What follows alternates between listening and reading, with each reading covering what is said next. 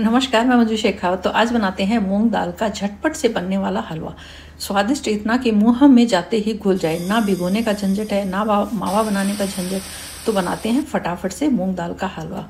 हमने ली है एक प्याली मूंग की धुली हुई दाल। जो छिलका उतरा हुआ होता है, सूखी हुई दाल ली है। इसे हम धीमी आँच के ऊपर हल्का सा भून लेंगे। हल्का सा इसका कलर चेंज हो जाए और कच्चापन निकल जाए। बस इतना ही हमें भूनना है। उसके बाद हमें क्या करना है? एक जार में डालेंगे और इसका मोटा दरदरा सा पाउडर बना लेंगे। इस तरह से बिल्कुल बारीक नहीं बनाना है थोड़ा थोड़ा इसमें दाना रहना चाहिए।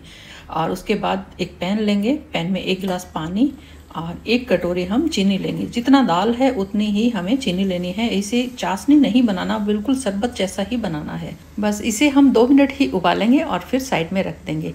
अब लेंगे एक मोटे पैंदे का पैन और उसमें डाल देंगे दो चम्मच, बड़े चम्मच देसी घी। और हमने जो दाल का पाउडर तैयार करके रखा है, वो डाल देंगे और इसे हम धीमी आँच पर लगातार चलाते हुए इस तरह से भून लेंगे। इसे भी थोड़ा कलर चेंज होने तक भूनना है, यानी थोड़ा सा गोल्डन सा इसका कलर हो जाए, अच्छे से भून जाए दाल। उसके बाद इसमें डाल देंगे हम एक कप दूध। दूध डालने से हलवा स्वादिष्ट भी बनेगा और जो दाल का दाना है, वो भी थोड़ा सॉफ्ट हो जाएगा। तो इस तरह से दूध डालने के बाद हमें इसे लगातार चलाते रहना है। और अब हमें इसमें डाल देना है चीनी वाला शरबत।